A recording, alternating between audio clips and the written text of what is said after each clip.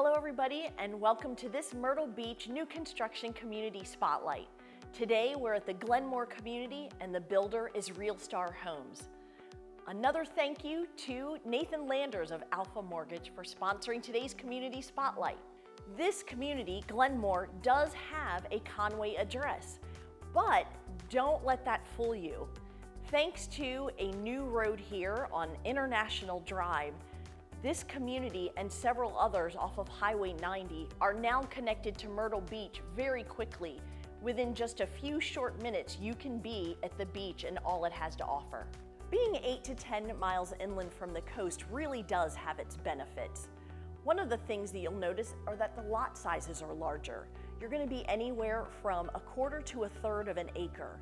That's gonna allow you to fence in a pretty nice sized backyard and you know who's gonna like that? Yes, the doggies. We're always worried about them.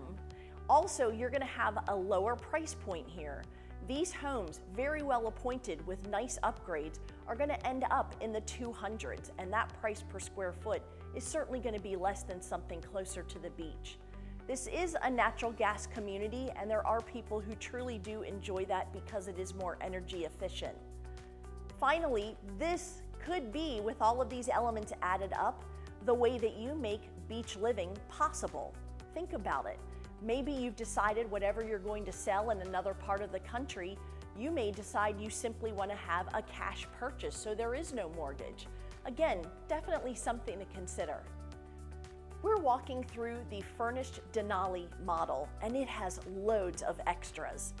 The base square footage for this home is around 2,200 square feet, but they've added the room that's called the Carolina room, and that brings it up to around 2,500 square feet.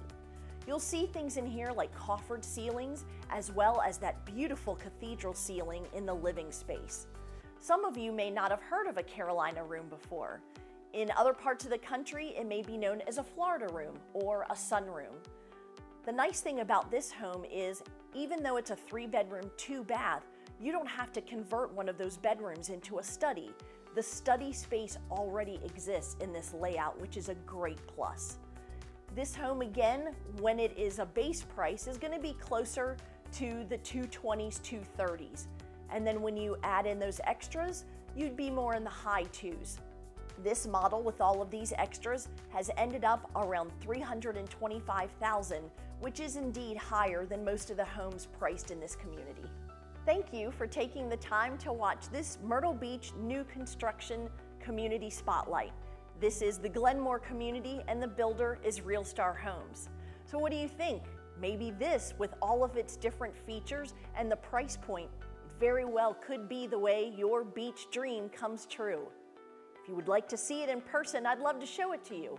Give me a call at 843 321 9646.